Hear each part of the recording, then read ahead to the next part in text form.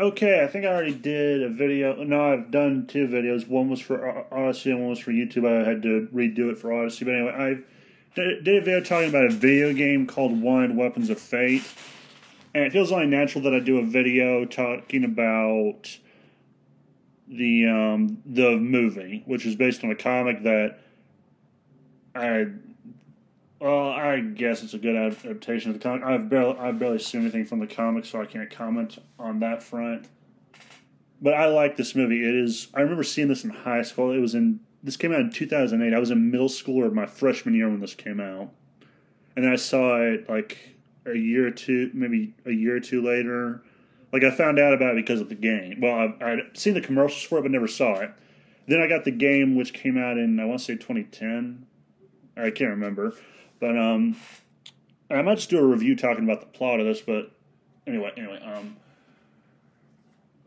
essentially, you start out with this guy called Mister X who's assassinated. He takes out assassins who he who are after him, and then all of a sudden, a bullet, and he realizes he's staying on an X. And he's like, "Oh shit!" And then a bullet goes through his head, and you then it shows us who he. And then we learn he was killed by Cross and basically, what you need to understand about this is, and this is just like the setup of the plot. Um, there's this a fraternity of assassins. I believe the game established that there's fraternities of assassins in all countries. These two, at one point, both worked for the American fraternity of assassins based in Chicago, which I find kind of funny because it's Chicago, the bastion of gun control, of blaster control. But anyway, and then Cross left for reasons I will get into later. Uh, spoiler alert for those of you who care about that sort of stuff. Actually, maybe I, you know what? Fuck it, fuck it. Um, and after this, Wesley Gibson, who is this loser guy, and I don't mean this like as an insult to him. Like he is, as the movie suggests, a loser. His life is kind of a downer. He has a girlfriend who's cheating on him with his best friend. He works a job he hates. He has a boss that is. God, I am so glad they give you the ability to unalive her in the game. And uh, the ex girlfriend, but anyway. Oh, yeah, she becomes an ex girlfriend there. Anyway, um, one day he's approached by a woman named I believe her name was Fox, played by Angelina Jolie, and the I can't remember if I said the guy's name right, but you follow the what's happening to Wesley Gibson, the, the supposed son of Mister X, who was killed in the opening. Who and he's played by I forget the guy's name actually. It's James something. But anyway, um, he he's approached by Fox and someone tries to kill him, or he thinks they're trying to kill him, and he ends up. They ended up doing a test to prove that what he can do by giving him a gun, which belonged to Mr. X, and said, Your father could conduct the symphony orchestra with this. And they tell him to shoot the wings off a fly. And at first he's like, You're crazy. Then one of them puts a gun to his head and says, Either you shoot or I do. And he shoots, the, like, he, he didn't even know he could do this. And he shoots the wings off the fly, and he realizes. And the thing about Wesley is, up to this point, he had what he thought was anxiety attacks that he was taking medication for. Well, it turns out that wasn't actually what was happening. He was. This is a, and one of the things about the assassins is they all have these abilities. One is adrenaline rush. One is they can curve bullets, which should be physically impossible. And they do lots of stuff that should be physically impossible, but these main two are the ones that come to mind usually. And they are fucking good. Like, time almost seems to slow down for them. And they are all badass. Like, I would not want to piss them off. Anyway, um, Wesley begins working for them after he eventually comes around to where he's like, okay, you know what? I am going to. Because he snaps, quits his job, knocks out his best friend's teeth because, because again, girlfriend was cheating on him with him uh, I think left his girlfriend and goes back and ends up working for the Chicago fraternity. And how do I put this? uh, they begin training him to be an assassin, and the train is brutal. Like one guy just punches him repeatedly. He's tied to a chair and gets punched repeatedly. He's taught how to curve bullets, do all do all the normal stuff the assassins can do, and then they go after Cross. And it's after um, a friend of his in the fraternity, the exterminator, gets killed that Wesley is motivated enough to like because he feels responsible for the guy getting killed, and they track him down to a place in I want to say France. I can't remember. Like it's been years since I've seen the movie, but I do recommend. I am recommending because it is a good movie. Um, and he ends up chasing Cross, and he learns the mother of all bombshells that he's pro- that he probably never would have expected. Mr. X wasn't his father. Cross was. And everything the fraternity told him was a lie. And then Fox, who was given orders by the leader Sloan to kill him, takes aim at him.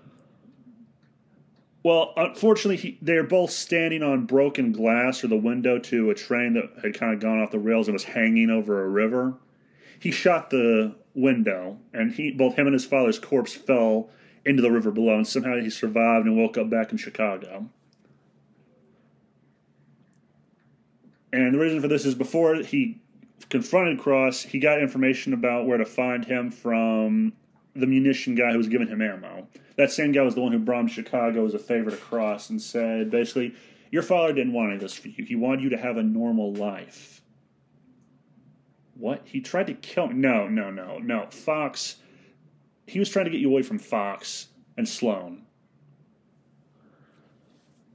And then he goes on this mission to uh, basically avenge Cross and kill the. And he was only going to kill Sloan because the thing you learn is Sloan wasn't actually killing people that. And uh, one thing I forgot to mention was the assassin's targets are picked by the loom of fate. But Sloan has been lying to the other assassins and saying because it turns out the loom said Sloan, played by Morgan Freeman, should die. It's a shame we had to kill Morgan Freeman in this movie, but oh well. Um, and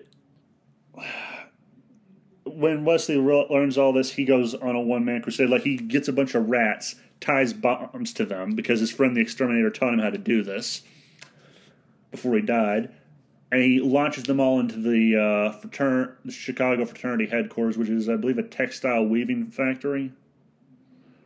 And they all go kaboom, and he charges in there with nothing but two pistols in his hand, and he starts shooting left, right, and center. He doesn't give a fuck. He's just shooting everyone who gets in his way, even the guy who was who beat him. Like he shot him in the in the eye, and then stuffed the gun through the hole in the guy's head and kept shooting it. It was awesome. It was unfucking believable. I loved every second of it. And then he confronts Sloan and he tells the other assassins, Look, I don't want him dead. The Loom of Fate wants him. Fate did, but he got pissed. So what does he do? He sends a man's own son to kill him. And Sloan basically convinces the other all the assassins and supposedly Fox that they were all should just kill West because all their names came up from the Loom of Fate, but he spared all of them. And it seems like Wesley's days are numbered. Like he's about to be sent to that gun range in the sky, or hell, hard to say which. When Fox suddenly shoots a, her a gun, but she curves the bullet to where it kills everyone in the room, including her, but Sloan gets away. And after this, Sloan thinks he's found Wesley and he's gone back to working in a cubicle. And he points a gun to us, but then the guy turns around. It's not Wesley. It's a it's a fucking dummy. And then Morgan Freeman looks down at the X he's down. And he's like, "Oh fuck!" And then bam, bullet tears through his forehead. And it ends with probably the best motivational thing I've ever heard. Just before he it, like rewinds and shows you him lining up the shot and it shows him shooting from a, a, a, different part of Chicago. Like it's a really long shot, should not be possible. And he looks at the camera just before firing the shot and goes, What the fuck have you done lately? That is the best motivation I've ever heard. Like, if you need motivation for to get shit done, that's it for me. And I didn't realize this till yesterday or the day before that. But yeah, that's actually pretty motivating. Like, do what are you doing with your life? Get up, do some shit. And that's more or less the plot. Um, the action is really good. The I really like the characters in this movie. I don't know why. Like, it's no Citizen Kane or Die Hard. And that's kind of one of the things I like about it. It's pretty simple. Well, I say simple. There, there's probably some elements of it that's not simplistic, but I find it okay. And yeah, really good movie. It's one I would I always would recommend to someone. I'm surprised I didn't really make a video on it till now. But it is an awesome movie. I I, I love the game the most because of all the games I've played in my life, the wanted video game that is basically like a sequel to this game because it or a sequel to the movie because it takes place a couple hours after he killed Sloan. Like that is a game I come back to like every couple of years or a year or so. And well, I can't now because I'm on the PlayStation. But anyway, anyway, um, the movie is also something I want to go back to because I want to see it again. It's probably the only movie I've seen with Angelina Jolie in it. Although I haven't seen the Lara Croft movie, I'm going to see the first one at least. And yeah, good movie. It's a kick-ass movie, I would argue. Like you got a guy who goes from being what some would consider a loser in life to a badass assassin. And he's kind of his own man now by the end of it and he's taking control of his life essentially. And that's kind of, and he kind of says this in a monologue as it's rewinding the shot to where it shows Wesley about to kill Sloan. And again, he says that line, What the fuck have you done lately? Which, again, I consider very motivational. And I think I've dragged this out longer than I should, but yeah, good movie. James, I forget that fucker's name, and that's killing me because he's a fantastic actor. Like I loved him in this movie. He was one of my favorite char- actors in it. Him and Angelina Jolie and Morgan Freeman were my favorite characters. That and the Exterminator. I liked him also. Or wait, no, not the Exterminator. I think he was called the Russian. Sorry about that. Um, yeah, just awesome movie. If you haven't seen it yet, I highly recommend it. Um, the acting again is good. I think it's good your your mileage will vary on this more than likely. But yeah, that's the movie. If you, that's more or less my me recommending it. I could not recommend it any better if I tried, and hopefully I'll be able to upload this one today, or sometime after I've finished recording. Anyway, that's the um, that's the video. Have a nice day. Remember, the game was rigged from the start, and I have to sincerely ask, what the fuck have you done lately?